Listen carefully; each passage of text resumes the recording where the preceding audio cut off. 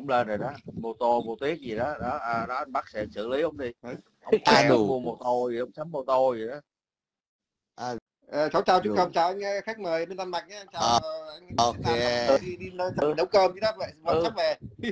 Đủ, ừ, mẹ, dạ, tưởng- cảm ơn về tưởng- đủ má vâng tưởng chào anh. gì? Đủ má tưởng gì? Mày đặt đủ mẹ À. lên cũng sợ vợ à đủ má. À, Ai? mày đặt được quá anh lên tưởng thế nào, phố, đúng không? tưởng thế nào? Tưởng thế nào? Tưởng gì? Đủ má ta nói rồi ta nói rồi đủ má đây khổ lắm đủ quyền lực nhất á đủ đéo sợ tổng thống. Không tổng thống phó tổng thống thì ta đéo sợ trên chợ đủ má cái gì sợ vợ sợ vợ đủ má ta thấy là vợ ta nó lãng giảng trong này là đủ má ta, ta là nãy ta không có dám lên đủ vậy. đó chứ bởi ông nói ai sợ vợ tao nói là thằng ta thằng nào cũng sợ vợ chứ không biết mày mày cũng sợ vợ. Anh, anh nói anh nói vậy đâu có được cái tôi hồi nào tôi nể anh lắm mới sẽ đủ mà anh này nói tao lao quá vậy trời. Trời ơi đủ quá thật tao Vậy, nói rằng là- anh bắt thấy- mà vậy vậy mà anh bắt này vậy mà vậy mà nãy bị đặt cà khịa ôi tưởng Ờ. thợ hàng thế nào có cái lỗ hàng hoài hàng không được. Trời ơi ok rồi. Rồi à, đầu tiên xin chào à, mày tào thơ quang chào tất cả mọi người ở diễn đàn. Bữa nay bên này trời thì cũng lạnh lắm. Mùa mùa đông tới mà đầu mùa đông lúc nào Lại- cũng tuyết. Lại là tuyết. mẹ luôn. Lại hồi là đấy tuyết. lại là tuyết. tôi hồi đấy tôi mới cho tôi qua À, coi đã tuyết đủ má nó thê thảm luôn. Thì ở đây cũng, cũng vậy thôi. Nó suốt đời cũng quá khổ. Đó đó Đấy, đó, đó, đó. Quá vậy nè Đó. đời Ừ. bữa nay à, thì bữa nay Đó, rồi. chưa không biết là bữa âm chưa có âm đủ nhưng mà hôm qua là âm 11 Ờ, thì, âm âm 11 là dữ hơn bên tôi rồi Dữ. Chỗ tao là giữ giữ cái này giữ Ờ, nãy giờ thấy tụi bay bàn với chuyện thấy vui vui ở đây thì ờ, bàn về món ăn nhà cửa thì thì thì, thì nãy giờ bạch với lại ờ, thằng bắc với lại thằng uh, việt việt đã nói hết mẹ rồi coi như là Không, nói gì thì nói. tôi là tôi tôi bị là tôi bị hai thằng hai thằng nhóc này nó chọc tôi nó nó nó nó quậy nó cố tình nó lôi tôi lên có đâu anh cứ vu oan cho hai thằng em không Đó. à tự hai thằng em không Ờ, biết đó. nó với thằng Trung Bị- bị mấy ba que nó lừa thì bây Rồi giờ phải nhờ mấy anh mấy chú lên ờ, rồi tôi lên nói thôi giờ mình mình nói mình nói mình, mình nói một chút xíu về bổ túc theo cái cái cái cái quan cái, cái chuyện mà luật nhà đất với lại ờ, ở ở Mỹ này với lại bên Thụy Điển với bên Đan Mạch thì nó cũng xem xem với nhau thôi. Nhưng mà có cái này cái ở Mỹ á thì à, cái căn nhà đầu tiên mày mua mày bán á hả, mày bán thì mày không mày không có mày không bị đóng thuế. Cái căn nhà đầu tiên nha bắt đầu từ căn Dạ. nhà thứ nhì là bắt đầu phải đóng thuế. Nói chung nó chẳng nó chẳng tha mà cái gì cả và mày suốt đời mày ở Mỹ này là tao không biết ở Đan Mạch Thụy Điển sao chứ con cũng ở Mỹ này cũng không bao giờ thấy cái sổ đỏ đủ hai sổ đỏ nằm ngân hàng á. mặc À, dù rồi. mày trả ờ, là như thế thôi suốt đời nó nói như vậy để cho mày hiểu ờ, Đan À. Mạch á, thì nó cũng không gọi là sổ đỏ có nghĩa là sao tức là ờ, nó không có dính dáng đến vấn đề nhà nước có nghĩa là khi Đúng anh rồi. mua nhà thì anh tất anh cả sẽ đều tư nhân mà tất tư cả nhân đều hết, tư nhân tức là anh tư nhân anh, hết. anh trả anh trả cho cái ờ, hàng tháng anh đóng tiền cho cái nhà băng rồi đến khi mà anh ờ, trả hết nợ thì nó chỉ có cái giấy là ờ, hết nợ thế thôi chứ cũng không có sổ đỏ sổ điếc gì không có sổ đỏ xí biết gì hết cả. Ừ, Ờ, đúng đúng rồi đi sổ đỏ. vậy thôi. Ừ. còn chuyện mà luật còn nhà đất bên này thì anh mua căn nhà đầu tiên. Ví dụ như là anh mua căn nhà đầu tiên anh bán anh có tiền lời nó mong mặc kệ anh mà ừ, căn nhà đầu tiên thôi ha chỉ có đầu tiên thôi à, là bắt đầu á. anh bán có lời nó cũng mặc kệ anh có nghĩa là ở đây ngoại trừ cái nhà là anh không phải đóng thuế à, thì lượng nó hơi khác, Anh khác chút mỗi quốc gia mỗi khác chút. Thì ở Mỹ thì cái căn nhà đầu tiên anh mua anh bán lại anh có lời nó không đánh thuế. Nhưng mà chỉ một căn nhà đầu tiên thôi là bởi vì nó quy định là khi mà anh căn bắt đầu căn nhà thứ hai là anh là coi như là tổ chức mua bán nhà đất rồi chứ nó không còn người dân bình doanh. nữa kinh coi doanh như là rồi. kinh doanh rồi đúng không? Ờ À. nó đánh thuế. Rồi.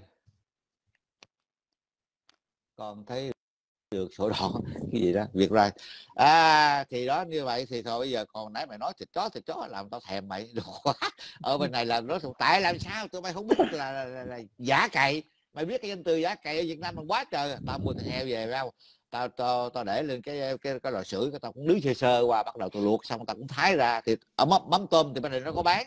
Chỉ bên chỗ tao thì, thì à, lá mơ thì à, không có. Tại bên lá mơ xứ lạnh mà mình đi hiếp chết mẹ sao có? Mà có chắc cũng mắc lắm.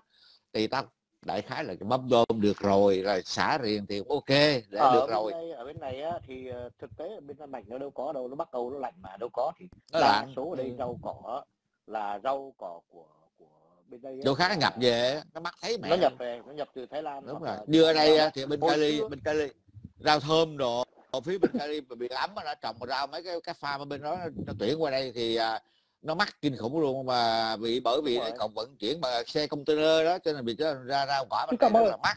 Rồi ơi rồi thì đóng đóng thuế đóng thuế ý không ý mà- ý chú nói là cái gì này sau khi mày bán cái nhà đầu tiên mày, mày ôm trọn số tiền của mày tao không nói với hàng tháng hàng hàng năm mày ở đương nhiên mày đóng thuế rồi. Cái đó không bàn mà tôi chỉ bàn khi mày bán cái nhà đó thí dụ bán 500 ngàn ý đô là tiền lời nhà đầu tiên ý là muốn nói tiền lời Đúng rồi, tiền căn- lời đúng không? căn, tiền lời của căn nhà đầu tiên mày bán ra thì không đóng thuế cho cổ chừng mày ở mà đâu mày đâu đóng thuế.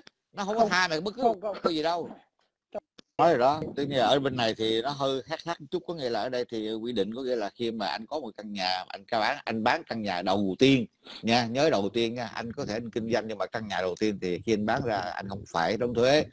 Đó là điểm thứ nhất tao chỉ biết vậy thôi. Còn cái chuyện mà bà- tao ở đây tao nói mày nghe cái sổ đỏ ở đây mỹ là không có thấy rồi nói chung là không có thấy và suốt đời mà không bao giờ thấy sổ đỏ hết trơn thường thì ờ, rồi nói chung là cái thuế tao nghĩ là nước Mỹ là sống là giờ thuế, bởi vì nước Mỹ là thuế là thuế khủng khiếp luôn. Có nghĩa là khi mày trả cái nhà xong xuôi rồi, mà trả đứt rồi, vẫn có thuế nha. Hàng năm phải đóng thuế. Ồ, mà khổ lắm. Nó mệt lắm. Coi như là suy đi suy lại thì à, mình mới nói câu này tao vẫn có nhà ở Việt Nam mà. Thì tao mới hiểu được rằng là ở Việt Nam mình có thuế Việt Nam mình giống như thuế như cho. Nó không có đáng là bao nhiêu cả một năm đủ đóng mấy trăm ngàn Đúng tiền rồi. Việt Nam mà ô mẹ ơi thằng mẹ so với. Mỹ ô nó một trăm ngàn lần đủ nó hơn một trăm ngàn lần đủ tao nói mà vậy đó thành ra Việt Nam dù muốn không nhà cửa Việt Nam nó cũng là một cái gì đó mà cảm thấy là ờ, thấy là ờ, cái nền móng nó vững chắc nó là vậy mua một căn nhà Việt Nam mình cảm thấy mình yên tâm thí dụ như mày bỏ đó mày không ở đó 10 năm cũng không ai nghĩa. Mình cũng cũng không có xi nhê gì cũng không ai chiếm dụng gì được cả. Mày quyền sở hữu mày có sổ đỏ mày có cái đóng mọc mày vô ra công chứng mày đóng mọc mày sổ đỏ mày đứng tên thì coi như là quân đời là mày là chủ căn nhà đó. Thế thôi tao chỉ nói vậy thôi. Ok thì à, cho con ờ, rồi con nói đi. con đi. cho ví dụ như ờ, đặt trường hợp đặt trường hợp mà ở dưới, có cái mỏ dầu dưới cái nhà của mày. Đúng. à Đúng. khá vậy thì cái đó cũng là của nhà nước chắc không phải là Đúng, của nhà mày đó. Còn ờ, ví dụ cái kim thạch nào mà từ ở trên trời mà nó rơi xuống nhà của anh á, cái đó cũng là thuộc về sở hữu của nhà nước chứ không phải là của của anh. Tuy là nó rơi về nhà của anh nhưng mà cái đó là sở hữu về của nhà nước ờ, của chính phủ Mỹ. Cho nó, nên nó nó có cái này nó vui lắm kìa. Có có cái này là vui lắm nè. Tao có cái nhà rất là lâu năm mà cũng hai mấy gần ba chục năm rồi giờ tao đang cho thuê đó. Thì tao cũng không muốn bán tao cũng chưa muốn bán nhưng một cái điều này. Cái căn nhà của tao nó có mấy cây cổ thụ trong cái nhà của tao. Có nghĩa là theo Việt Nam theo luật pháp Việt Nam là cái nhà nó cái cây đó là của gia đình tao. Tao muốn chặt tao Đúng rồi. muốn tỉa tại gì là của tao là bởi vì trong phần đất của tao trong lãnh thổ của tao trong cái chỗ của tao có giấy tờ đàng hoàng. Nhưng ở Mỹ thì nó khác. rồi. ồ má mày đốn cái cây đó là mày chết mẹ mày đó nói liền. Đủ má nò mày muốn đốn cái cây đó là mày phải lên mình xin phép ở cao thì. Cao thì là cơ quan mà chủ quản của cái thành phố đó mày xin phép nó xuống nó coi nó xuống nó coi nó cho phép chặt. Thì mới chặt còn không chặt là không là không được quyền chặt nha. Mà khi mày xin phép là mày phải tốn tiền nha. Đó nó khổ vậy đó. Có nghĩa là cái của mình mình tưởng là thực tế là của mình nhưng mà không phải đủ mình chặt là mày chết đủ vậy đó. Nhưng nhưng, có mà nhà- lỡ lỡ cái cây đó cành cành lá nó nó nó, nó phát triển quá nó đâm vô nhà mình Mà- mình muốn à, thì- mé thì- mình cắt bớt thì cành được, lá thì được. sao? Đúng cũng phải xin Được phép rồi. nó cũng phải xin phép nó rồi nó sai nhân viên xuống mé lá tỉa cành cho mày thì mày phải trả tiền. Đủ đó vậy đó. Chứ mày không à, đó khổ. Ờ, khắc nghiệt hơn bởi vậy ta mới nói là ở tiểu bang của ở những cái nước Mỹ này mỗi tiểu bang nó có cái luật riêng.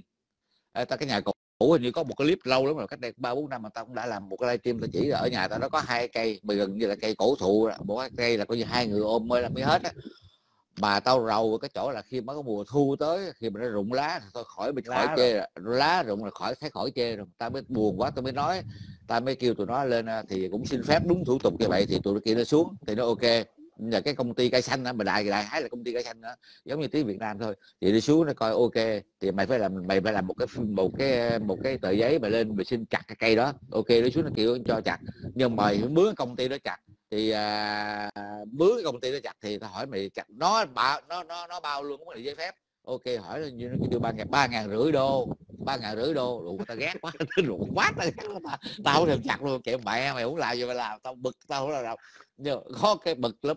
Nhiều cái đủ mà nhiều cái mình nghĩ là đủ của mình mình muốn làm mình làm mình chặt mà đưa vào đủ mà không được. Đủ khi lần sau có có có một cái cây thông ở bên sau sát nó bọc sát nhà tao thì à, tao mướn chặt được mà nó nuốt tao hết gần ngàn đô ngàn ngàn tám tao lâu quá tao cũng không nhớ. Bởi vì khi cái thông mà cái thông bên mỹ khi mà nó cái nó rụng nó rụng cái mà những cái cái lá thông nhỏ nhỏ, nhỏ, nhỏ xuống như bắn xối thì nó sẽ làm nghẹt cái bắn xối. Thì mỗi lần mà nó mưa thì mấy cái mấy cái lá thông nó chui xuống mấy cái lỗ kia làm nghẹt thì nó tràn vào nhà nó ướt. Tao mướn người ta xuống tao mướn cũng vậy nó cũng làm thủ tục cái đồng bằng nó nuốt tao hết ngàn tám rồi mà thôi kệ mẹ đi còn bởi nó sát cửa nhà. Đó tao nói mày cái gì à? Nó có buồn cười ở cái chỗ là cái nhà của mình đất đai của mình rồi cây cối nằm trong khuôn viên của mình mà mỗi lần chặt hay là muốn làm gì phải xin phép và phải mướn cái công ty mà nó xin phép cho mình nó bao luôn giấy tờ thì nó làm. Ok thì nó là vậy đó. Khổ Có, nó có kỳ kỳ cục nó kỳ cục bây giờ tao nói Nó một cách đơn giản nó kiện á. Bây giờ tao nói cho mày nghe nè. Mặc dù cái nhà của mày ở nó gọi là single house ở ở cái xứ này là coi như là cách nhau cái nhà cũng khoảng à, 10 mét á, 10 mét mới tới cái nhà kia nữa. Đó là coi như đó là cái dân cư đông đúc á thì cứ 10 mét thì có một căn nhà 10 mét căn nhà. Nhưng mày muốn sửa cái nhà của mày đó thì mày phải có bằng cách là mày hợp đồng với một cái công ty nó tới nó sửa nhà cho mày ha. Thì trước mắt trước đó ba ngày mày phải cắm một cái bảng ở phía trước nhà của mày đó cái xa xa ngay cho cái ray quay là để mà để mà đường đi đó trước mặt á mày nói là xin lỗi trong 3 ngày nữa tôi sẽ làm sửa nhà và xin phép là đại khái nói chung là cũng giống như kiểu như là mình uh, thông báo cho mọi người biết là mình đã sửa nhà đó ba À. ờ đủ. À. ba, ba ngày sau mày mới được quyền sửa. Đủ nó có nhiều chuyện thứ là buồn cười. Mà mà mình sửa nhà của mình mà mình mà, mà mình phải xin phép hàng xóm. Đó cho là vậy đi. Đó. Cái rồi nó có những chuyện nó sợ ồn ào hoặc là cũng không cái đó là cái đó là một phần một cái phần vô lý mà rất là buồn cười. Cho ngày xưa tao mới mua nhà tao cũng không có biết. Thì thường thường mùa đông á mùa đông thì tao chỉ có uh, clean tức là chỉ, chỉ uh, xúc uh, xúc tuyết cái cái chỗ ray quay là từ cái chỗ đầu đường vô tới gara mình thôi. Nhưng mà cái nhà của tao thì nó có một cái cái cái một cái con đường nhỏ gọi là cái ray quay để cho người đi bộ trên xi măng. Tức là trước cái thềm nhà thay xuống bước xuống cái đường xe hơi chạy thì ở trên này nó có một cái chỗ mà để gọi là à, mà, mà, mà mà mà cho người đi bộ đó, thì không có liên tao đâu có tại thường thường bộ đông đâu có ai đi bộ đâu mà liên thấy không? nhưng mà không có đâu. Rồi nó vô nó cảnh báo này đủ mày không liên là mày chết mày đồ má người ta đi bộ trên ngay cái chỗ nhà mày mà nó lỡ mày nó trợt chân nó té. Đủ má là cái nhà mày chịu trách nhiệm. Đủ quá. Đâu có trước nhà xa lắm. Từ cái chỗ mà cái nhà tao ở tới cái bãi cỏ rồi tới cái rai quay rồi tới con đường rồi thì nó xa lắm khoảng hai chục mét có. Mà nó đi ngang bởi vì cái nhà mình có bảo hiểm cái nhà có bảo hiểm là cái bảo hiểm mình nó đền đồ má có nghĩa là cái người đi bộ đi ngang qua nhà mày mà té trai ngay ở chỗ cái nhà mày là mày cũng bị bị bị bồi thường nó đủ nó kỳ vậy đó. nó kỳ vậy đó. nó có nhiều cái chuyện buồn cười lắm. Chiếc phèo nó- không dạy chiếc phèo không đúng rồi mà mình không thể mình thấy nó vậy mà mình không thể nào mình mình làm mình nói được không có làm được. Chẳng có xưa kiện gì được cả. Là bởi vì nó làm hợp pháp nó buồn cười lắm nó có những cái luật lệ quái đản. À, nó có luật lệ quái đản gì đó. Thì, giống như chị thì bây giống giờ như hồi lâu con nói giống như hồi lâu con nói con chia sẻ trên với anh Trung á. Ờ, tức là có vấn đề gì thì họ lại quay qua họ đổ thừa hiến pháp Mỹ là vậy. Đúng không? đó nó- khái nó là cái gì đổ thừa là à, luật pháp nó quy định đó là vậy. Là vậy. Hiến pháp đó là mà tại làm sao? Tại À. làm sao? Ý thì mình thắc mắc là tại làm sao hiến pháp quy định của mỹ thì mày tuân theo mà trong khi đó hiến pháp của việt nam thì mày không tuân theo là sao? Cái đồ mày quái đản vậy. Bởi vì à, bởi vì bởi vì nó là bao que oh man ngạc nhiên chưa? Oh man muốn gặp ngạc nhiên chưa cái cái cái cái điệu giả mà lời ăn tiếng nói của nó tôi nói tôi đơn giản cho một cái thí dụ nhỏ thôi rồi chúng ta dẹp qua cái vấn đề này tôi nói cho mày nghe điều này nè. Mày đi xin việc. Mày đi xin việc cái gì? Thì mày vô mày nộp vô hồ sơ văn phòng. Đúng rồi chưa? Mày gặp thằng đó nó gọi là interview. Nó interview cho mày lên nó hỏi mày để kêu để mày rất có nhận mày hay không á. Khi nó không nhận mày á, thì nó dễ mình mày mày cái biết là nhưng mà không bao giờ mày biết được. Vâng anh tôi chấp nhận cái hồ sơ của anh và tôi rất là xe rất là, à, mong anh là trở về nhà và anh đợi à, phone của tôi. Tôi sẽ gọi anh và mời anh làm việc một ngày rất là gần đây. À. Anh yên tâm vậy thôi. Nhưng mà thực chất anh gọi đâu. Có nghĩa là cái nội nội mà cái cái bài apply mà xin việc không là nó đã điếm rồi.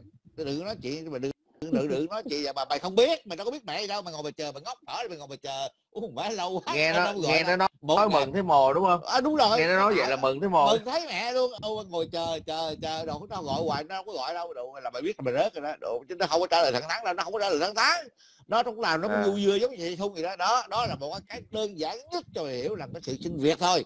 Mà nó đã là như vậy rồi. Đừng nói chi bởi là khổ lắm đừng có nghe lời ăn tiếng ngọt. Đó nói thì thờ ừ đó đó thì nói dữ lắm. Trời đây là tôi nói là kể một câu chuyện. Tao với ông anh tao mời tao ngày hồi xưa tao đi um, mới qua cách đây mấy chục năm rồi hai mấy năm rồi. Thì à, hai đứa tao không có xe đi thì tao mới nói anh ơi đừng bây giờ kiếm cái xe nào cũ cũ vô mua. Hai ông anh cũng dẫn tao đi vô kia lựa đi lựa tới lui. Ui, mấy thằng mỹ chạy ra thấy vô mua xe á, vô nó xăng đón nó rót nước cho uống các cái rồi xong. Cái mình tới mình mình coi tới luôn nhưng mà thực chất là chưa có chưa có dự trù mua là bởi vì chưa đủ khả năng mình chưa mua phải không? À, má, cái mình đâu có nói được nó, nó, dí quá mày nó nói đùi xe này tốt nó là làm dữ quá nó dí quá. Cái tao nói chứ ta ông anh nó nói chứ, nói gì thì nói. Tụi tao để giấy tờ ở nhà hết trơn trời rồi tao không có ở đây. Ở đây ở nhà này đâu tao lấy xe chở mày đi. Đồ. Đồ quá đồ ghê không? Có nghĩa là nó dí tới cùng săn luôn. đón săn đón mà sẽ Săn ghê đón gớm tới nơi ghê luôn. Má, Dạ. chở tao đi về nhà tao lấy giấy tờ lên để mua xe mà cái kinh khủng của tôi đủ má nó thì miệng lưỡi nó kinh khủng là nó làm cho mày cả vấn đề nó gài mà vào một cái thế là mà làm mày phải mua. Nói chung là vậy. Đúng rồi dí tới nơi luôn dí tới tới dí tới luôn. đời luôn. Nói thành ra vì tôi nói mày nghe cái gì cũng vậy. Kể cả cũng gì cái này là thằng à, ê vượt nó đã nói từ lâu rồi nó cũng nói rất là nhiều cái like rồi giờ tao bổ túc thêm nữa. Tất cả những cái cái việc mà ở nước mỹ này mà sale á là hầu như thực chất nó chỉ sale nó tạo ra một cơ thôi cái hạn như tôi nói cho mày nghe. Cái lễ thanh Kevin á rồi uh, sau đó là cái lễ cái nghĩa là Black Friday là cái đó là do mấy thư bản tạo ra rồi cái ngày lễ tình nhân nó cũng tạo ra. Nói chung là cái cái Halloween nó cũng tạo ra để cho nó tạo ra cái điều đó để cho mày bán hàng kinh tế chứ không à, có con mẹ gì thuộc thuộc, thuộc gì đó. Tất cả những cái lễ lập mà coi gì mà để mà sale hàng sale ở Mỹ là đều đều là do mấy thằng Mỹ tạo ra để chi? Nó kinh doanh nó bán hàng. Đơn giản thôi chứ không có cái lễ còn mẹ gì. Kích nó kích, kích, cầu đó như cái vậy đó. mua sắm. Đúng rồi À. đó. Đó nè nó- cái này là hình như là, là ai ở Việt có nói rất là nhiều lần rồi mà giờ mình nói lại. Rồi còn cái thứ hai nữa bên cái diễn đàn ngày hôm qua thì bố cũng có nghe của ai ở Việt mà mày về mày nói lại những cái chuyện tờ giấy hai đồng đi cho mọi người hiểu và ở trên cái diễn đàn để cho mọi người à, hiểu được cái tờ giấy hai đồng thường thường tờ giấy hai đồng bây giờ người dân Việt Nam mình rất là thích là bởi vì họ cho đóng là bao nhiêu bốt là cái sự may mắn. Cái đó cũng là một cái mánh mà đồ thằng qua ngày hôm qua thằng ai ở Việt nói rất là hay à, bố rất là đồng ý với con cái điều đó. Tự gì mà nói đi tao ra tao hút xuống cái.